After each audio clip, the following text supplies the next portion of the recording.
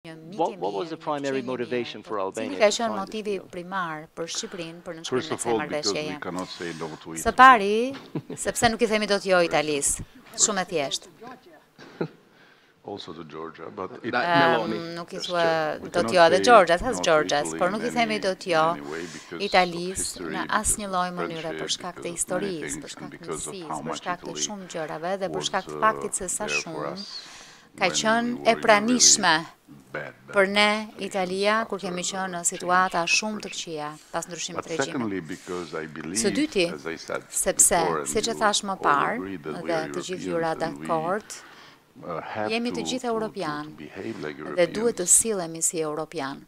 Even they are delaying our license. Edhe pse po na vonojnë lejen për të qenë pjesë e kësaj familje të përbashkët europiane. Ky është një problem për të gjithë Europën. Mete solli një shembull që është saktësisht çfarë ndodhi në tryezën e komunitetit të ri politik europian. Ajo e ngriti këtë pyetje dhe përgjigja nga disa kolegë ishte jo. Në fakt, në fakt, vendi i njërit prej kolegëve po bëhet famëkeq saktësisht për këtë gjë, për zonat ku ti nuk mund të ecësh. Famëkeq.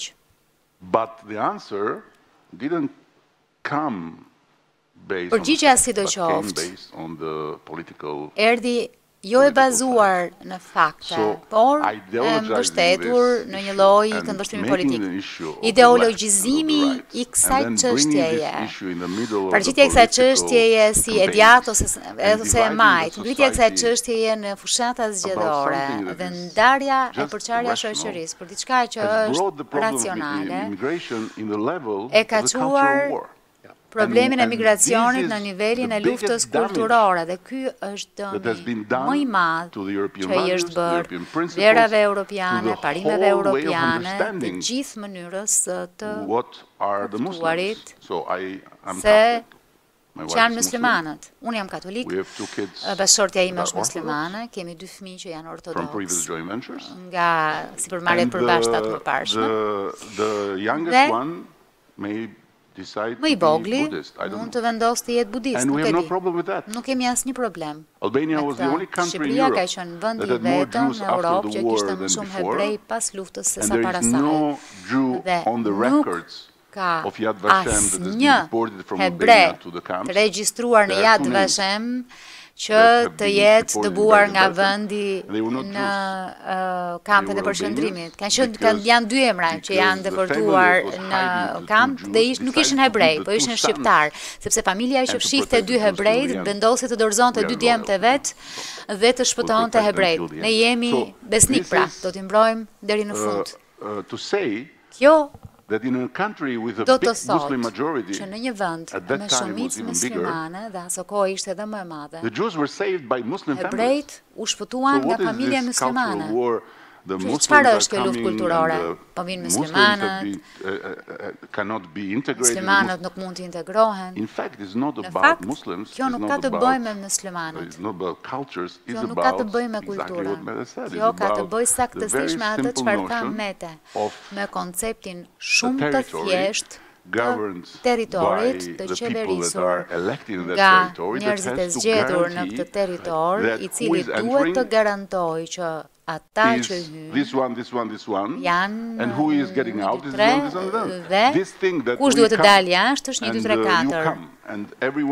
Po kjo gjëja që unë vij, ju vini, të gjithë vijnë, është njësoj si të luash lojën e shumë forcave të tjera, por jo të bësh atë çfarë është e nevojshme për Europën. Vetëm diçka. Sepse është edhe aspekti tjetër i historisë, që unë tashmë e besoj që Europa nuk mund të përballet me këtë valë në qoftë se politikisht nuk do të bëjë diçka madhore për t'u bërë edhe më e bashkuar në Unionin e vet. Dhe kjo s'ka të bëjë me Danimarkën, me Gjermaninë e Italinë. Kjo ka të bëjë me të gjithë territorin europian. Europa nuk është më e re.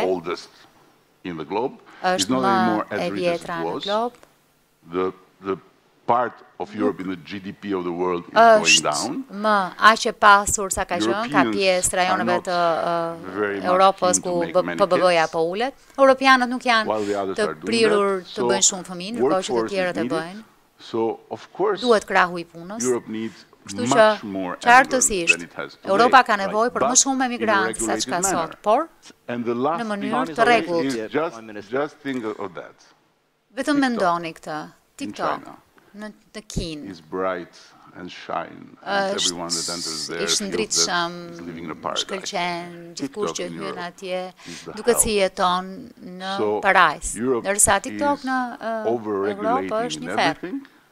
Europa po mbirregullon gjithçka, po mbiderregullon apo liberalizon median e lirinë e fjalës dhe unë kam shumë shumë frikë që Europa do të përfundojë në një pozitë të tmerrshme në qoftë se nuk do të vendosë të jetë një e të flasë me një zë të vetëm, sepse ne mund e duhet ta fitojmë luftën në Ukrainë, po si e fiton luftën kur njëra palë është angazhuar plotësisht ndërsa palës tjetër i thuhet ja po t'i japim të avionin, po duhet të fluturosh deri tek ajo pjesa aty, ndërkohë që të tjerët të japim këtë pushkën, po duhet të qëlloni vetëm në këtë drejtim, të japim këtë, të japim atë. Pastaj ju thuhet, ndërkohë duhet të luftoni dhe korrupsionin.